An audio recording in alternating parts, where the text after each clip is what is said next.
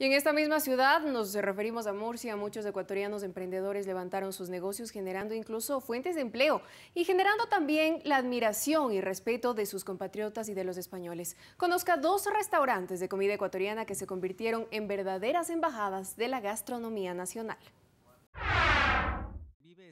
Ella es doña Fanny, como la conocen en Murcia, donde llegó procedente de Sangolquí hace 13 años. Empezó a preparar comida para los ecuatorianos que buscaban alimentos de su patria. Empecé en un locutorio que se llamaba Alfa y Omega. Eh, había mucha gente ecuatoriana. Yo me iba, me iba a llamar por teléfono a mis hijas y veía mucha gente sin tener a dónde irse, sin tener que comer. Y de pronto me pensé en ellos. Digo, no, pues aquí tenemos que hacer algo, de cocinar algo, de ver qué hacer. Entonces me, pensé de una fritada. Tal fue su éxito que tuvo que alquilar dos cuartos para cocina y restaurante. Luego pasó a atender en su propio departamento y finalmente en su local. Entonces yo ya me puse a buscar un local que encontré este rinconcito. Y este rinconcito era pequeño, tenía seis mesas igual, pero la gente era que venía, comía parados, sudando en el calor. Y gracias a Dios me ha ido muy bien. Aquí se come como en casa. La variedad de platos de la sierra, de la costa, del oriente, hacen que los ecuatorianos vengan a disfrutar, por ejemplo, de una rica fritada.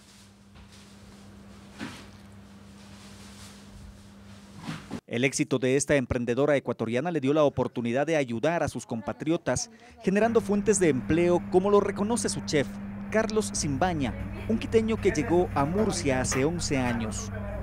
Tiene un buen ambiente, se puede trabajar bien. Aquí con los compañeros trabajamos todos en conjunto. En el rinconcito ecuatoriano se encuentra de todo. Arroz marinero, pollo asado, fritada, chicha y más delicias ecuatorianas que las disfrutan los compatriotas como Fernando Bonilla, oriundo de Cibambe, provincia de Chimborazo. Me he servido un encebolladito y y un buen vaso de chicha. Sí. ¿Y qué tal?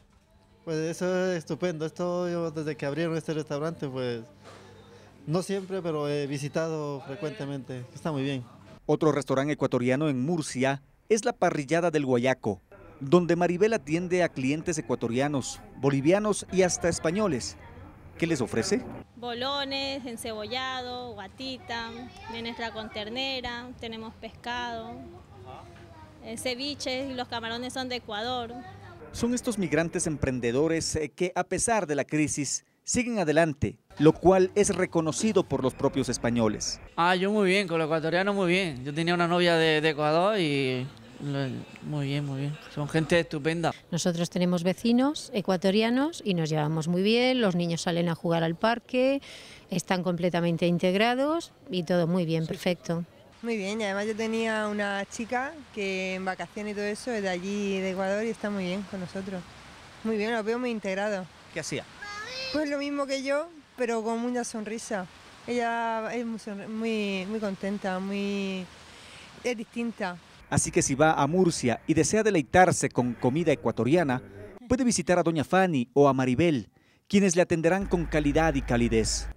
Con imágenes de Rodrigo Sandoval y Mauricio Muñoz en Murcia, Cristian Caiza, El Ciudadano.